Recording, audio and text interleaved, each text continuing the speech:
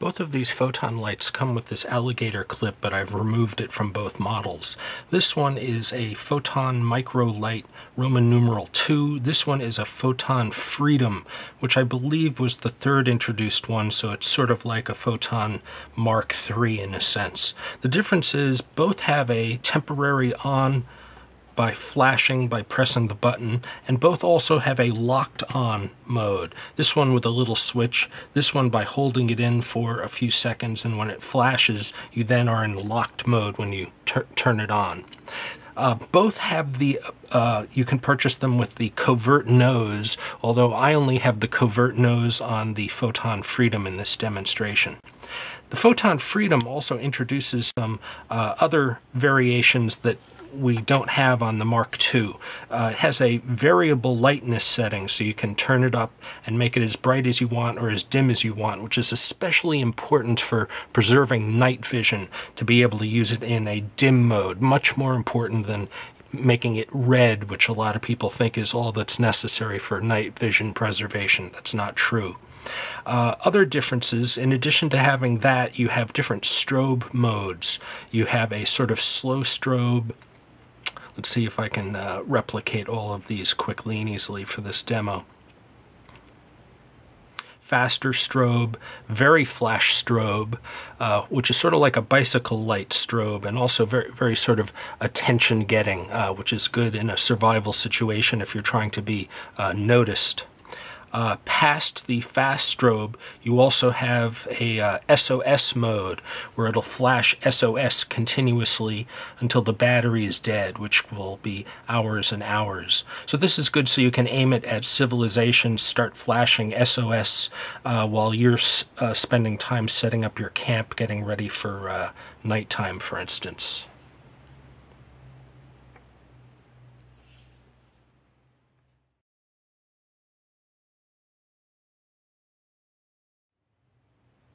This is my shirt folded loosely on my desk with what looks to be a pen in its front pocket. Let's zoom in closer. Even under very close scrutiny, it still looks like a pen, and that's because it's made from a pen. But in truth, it's my Photon Freedom flashlight with my modification attached. This serves many functions. One is as a pocket clip, so you can attach it to your pocket shirt pocket as you're working on equipment, much like a doctor would pull a pen light out of their shirt pocket. It gives you sort of a quick, quick immediate access to your light for uh, day-to-day tasks. Another aspect is that it's a button guard. You can't press the turn on button while it's in place you pull it straight off just like you would a pen cap, and now you have a fully unmodified stock version of the Photon Freedom. But when you connect it, it acts as a button guard. I find that to be quite a bit more reliable than the electronic lock which Photon has built into their light. Another application you can take a uh, baseball cap, the brim of a baseball cap, and if you attach it to the baseball cap brim, you have a nice little headlamp.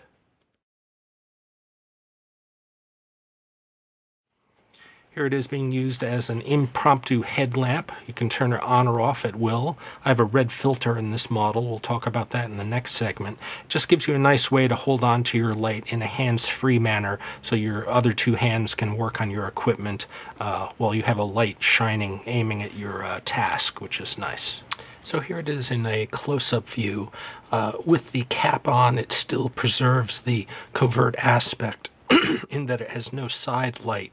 Uh, it's on right now, but you can't tell if you view it from the side. It's only if you're in front of it that you can see the red beam.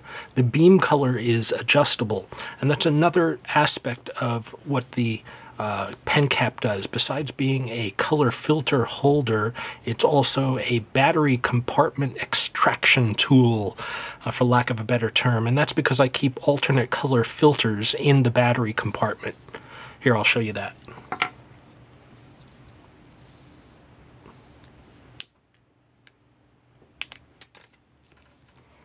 There's a green one looks rather irregular, but they don't need to be perfectly round. Uh, and you extract, you insert the new ones by pushing out the center puck. This is made from uh, Bic pens. This variety, they're called round stick, and they come in different colors, even clear clear body, but they're all called round stick. And I've taken one of them, cut it with a razor, inserted little pucks, which are made out of the pen body. The uh, the pen body fits into this size, so I have cut sections of the body. Uh, there's one puck. You then put in your color filter of choice. You then put in the extra secondary puck. I have blackened this one with a uh, Sharpie pen to keep it uh, less reflective internally. And now you have a green filter. So let's put the battery cover back on, which you can just snap into place.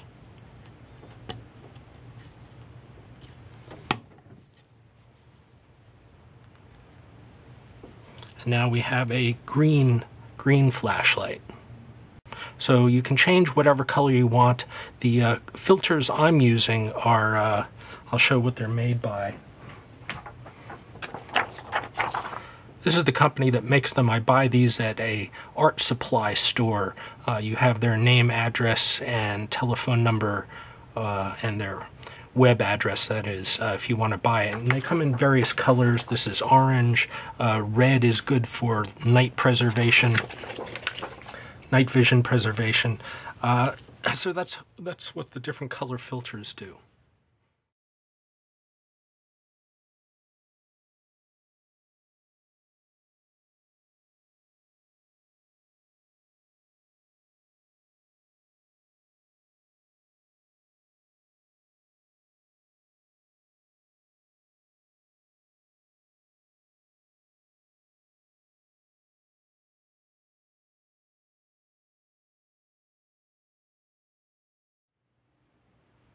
Here's a really quick tutorial of how to manufacture these yourself. All you need is one Bic pen, a little filter disc, and a sharp knife.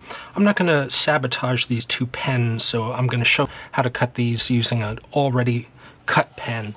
First, you take one of the pen tops and you cut off the top so that all that you have left is just, just that, uh, just the clip part. You then take the body of the pen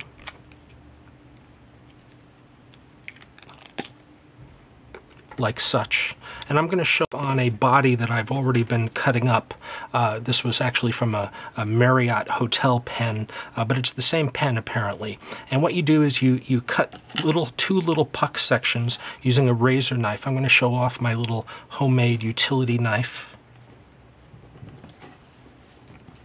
And you want to cut two round pucks that are half the size half the size of this length. Uh, so there's one. Uh, you would make another. You can blacken them if you want with a Sharpie pen, although it's not entirely necessary. Whoops. Uh, you stick one puck into the body.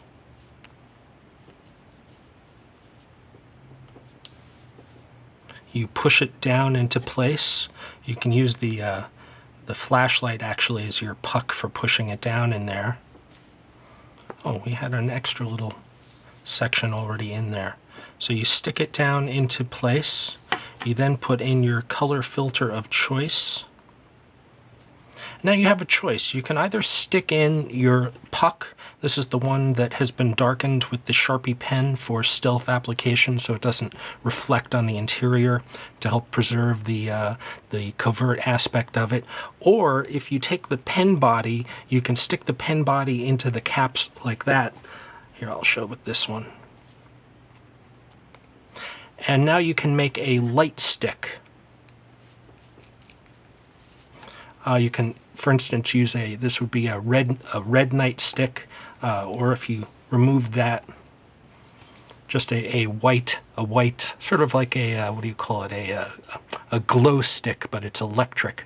Uh, here, I'll turn off the light show a little bit more of what, what that's like. So this would be a good way to, for instance, if you wanted to signal somebody or uh, mark mark the entrance to your tent. So if you walk away from your uh, tent at night and you need to find it in the dark or to, you know, read something, uh, it acts sort of almost like a, a little mini lantern.